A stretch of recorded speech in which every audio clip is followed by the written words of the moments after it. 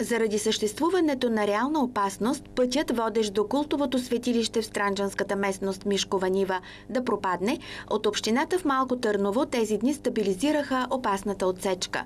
До преди 4 години достъпът до уникалната антична куполна гробница, намираща се на няколко стотин метра от българо-турската граница, се осъществяваше пеша или с високопроходими автомобили. През 2017 година със съдействието на тогавашния вице-премьер Валери Симеонов Иванов, до там с безвъзмезно дарение бе направен асфалтов път.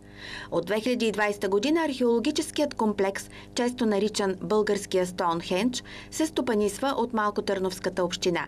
Местната администрация предвижда още дейности, за да го превърне в обект, удобен за посещение от туристите.